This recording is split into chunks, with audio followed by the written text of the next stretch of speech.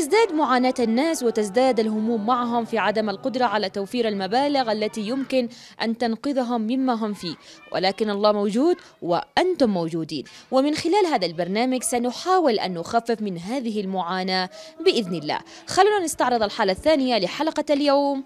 خليكم معنا.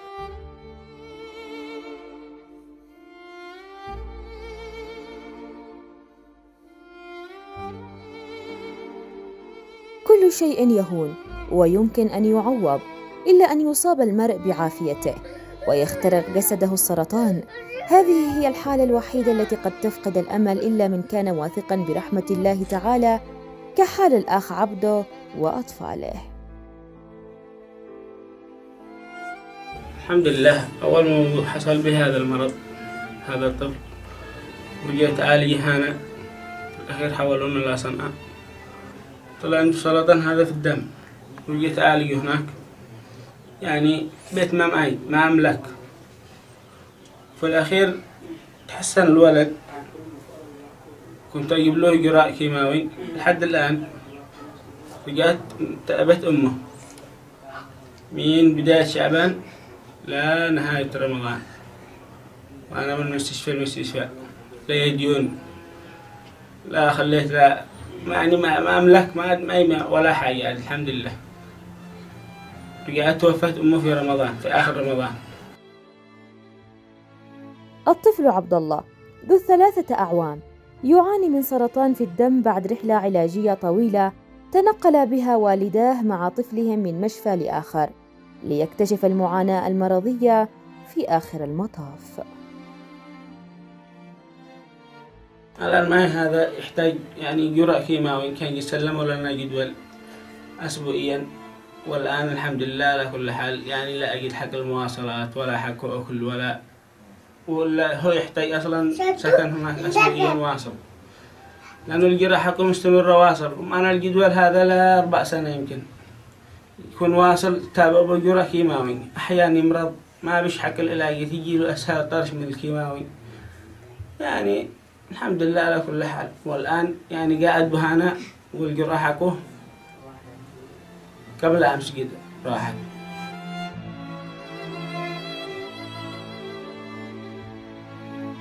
أم هؤلاء الأطفال أصيبت بمرض لازمها لشهرين ليخطف روحها من بينهم مخلفة وراءها ستة أطفال.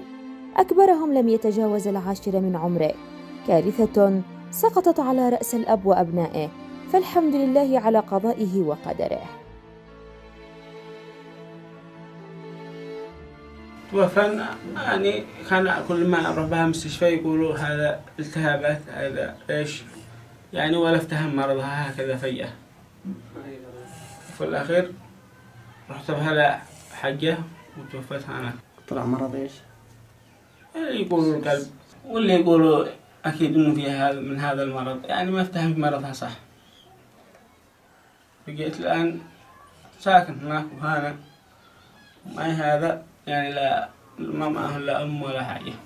أنا والعيال بس. كم معك أطفال؟ ستة. يدرسوا الأطفال؟ إيه. هذا يدرس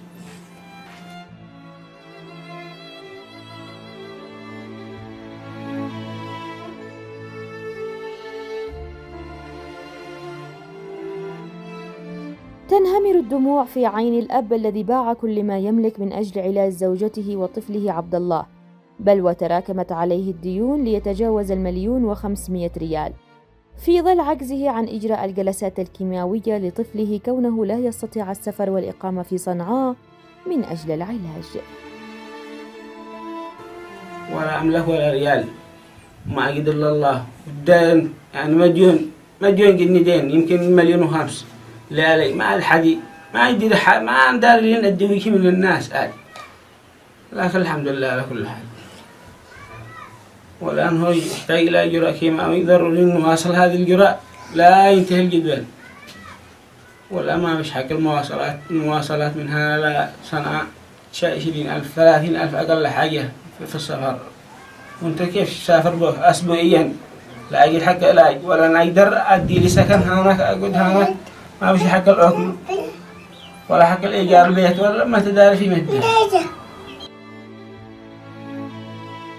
مريم في السابعة من ربيع عمرها هي من تتكفل بأعمال البيت فهي التي تجلب المياه على رأسها وتغسل ملابس إخوتها وتقوم بالكثير تنام مع أسرتها دون طعام ولا يعرفون سوى وجبة الغداء التي تؤمن لهم من بعض الجيران.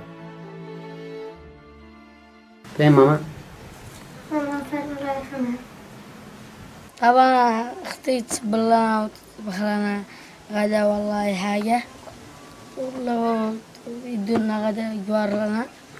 والحمد لله كله الحمد لله يعني لا بش لا. يعني جاء جاء لو كل جاء جاء. أحيانا يرقد بلا أشياء وأحيانا ما يصطبح لها وقت الظهر. يعني فعل الخير لو فيه يعني ي- من هذا من الأجوار لو جابوا لهم شوية خبز؟ ولا يعني جاء مهم إنشاء بنكها والحمد لله على كل حال يعين الله. فعل الخير حق لك أخي واشتري دراسة ألم وسابق. والله دي أخي عنده مع ابنه عنده سرطان يعني من ذي قد له فترة. وظروفه صعبة وزوجته توفت من قدام يمكن ثلاثة شهور. وباع كل ما لديه ولم ولم يجد نتيجة العلاج. وظروفه صعبة يعني ومعانا عندنا والدنيا عندنا حراف وتعب وابنه الآن مصاب بالسرطان ويستخدم جراء كل أسبوع. ويسافر به من بلادنا من هنا من فلاح اليمن إلى صنعاء. والكرة غالي والظروف غالية كل شيء ما بوش معانا.